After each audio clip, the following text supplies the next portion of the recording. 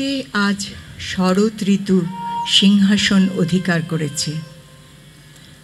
সংগীত ভবনের শতবর্ষ উদযাপন উপলক্ষে রবীন্দ্রসঙ্গীত গবেষণা কেন্দ্রের নিবেদন, শরতের অমল মহিমা। জগৎ এমন আশ্চর্য সুন্দর। পৃথিবীর উপর শরতের সোনালি আলোয় যেন আমাদের নবযৌবনা ধরণী সুন্দরীর সঙ্গে কোন এক জ্যোতির্ময় দেবতার ভালোবাসাবাসি চলছে। তাই এই আলো, এই বাতাস, এই অর্ধ উদাস, অর্ধ সুখের ভাব গাছের পাতা এবং ধানের ক্ষেতের মধ্যে অবিশ্রাম স্পন্দন। জলের মধ্যে এমন অগাধ পরিপূর্ণতা, স্থলের মধ্যে এমন শ্যামশ্রী, আকাশে এমন নির্মল নীলিমা। শরৎ ঋতুর অভ্যুদয়ে, যখন সমস্ত জগৎ নূতন সোনার রঙের উত্তরীয় পরে চারিদিক থেকে সাড়া দেয়, তখন মানুষের হৃদয়কেও সে আহ্বান করে। সেই হৃদয়ে যদি কোনো রং না লাগে, কোনো গান না জাগে, তাহলে মানুষের সঙ্গে প্রকৃতির বিচ্ছেদ ঘটে। আজ আমাদের মনটাকে কে যেন তুলিতে করে তুলে নিয়ে এই রঙিন শরৎ প্রকৃতির উপর রঙের মতো বুলিয়ে দিচ্ছে। তাতে এই সমস্ত নীল, সবুজ, সোনার রঙের উপরে প্রাণে আর একটা যেন সৃষ্টির রং লেগেছে। এবার অবগুণ্ঠন খোলো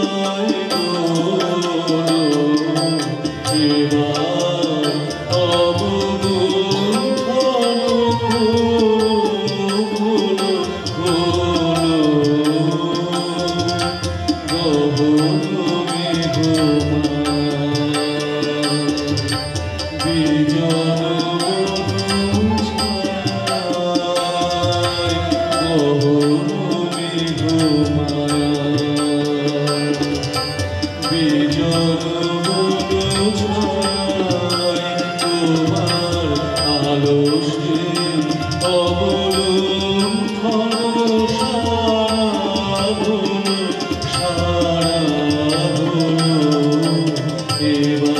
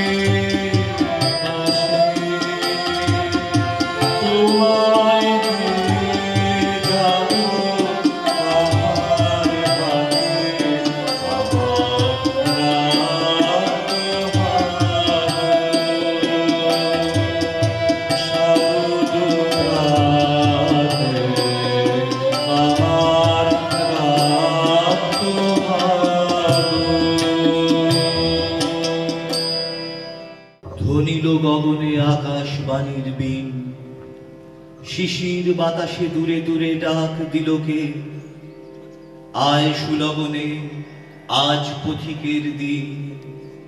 এঁকে নে ললাট জয়যাত্রার তিলকে। গেল খুলি গেল মেঘের ছায়ার দ্বার। দিকে দিকে খোঁচে কালো আবরণ ভার। তরুণ আলোক মুকুট পড়েছে তার। বিজয় শঙ্খ বেজে ওঠে তাই ত্রিলোকে। শরৎ এনেছে অপরূপ রূপ কথা। নিত্যকালের বালক বীরের মানসে, নবীন রক্তে জাগায় চঞ্চলতা। বলে, চলো চলো, অশ্ব তোমার আনসে। ধেয়ে যেতে হবে দুস্তর প্রান্তরে বন্দিনী কোন রাজকন্যার তরে। মায়াজাল ভেদি চলো সে রুদ্ধ ঘরে লকার মুখ দানবের বুকে হানসে ওরে সারদার জয় মন্ত্রের গুণে বীর গৌরবে পার হতে হবে সাগরে। ইন্দ্রের স্বর ভরি নিতে হবে তুনে। রাক্ষসপুরী জিনে নিতে হবে জাগরে। দেবী সারদার যে প্রসাদ শিরে লই, দেব সেনাপতি কুমার দৈত্য জয়ী সে প্রসাদ খানি দাও গো অমৃতময়ী। এই মহাবর চরণে তাহার মাগরে। মেঘ বিমুক্ত শরতের নীলাকাশ, ভুবনে ভুবনে ঘষিল এ আশ্বাস, হবে বিলুপ্ত মলিনের নাগপাশ। জয়ী হবে রবি, মরিবে মরিবে তমরে।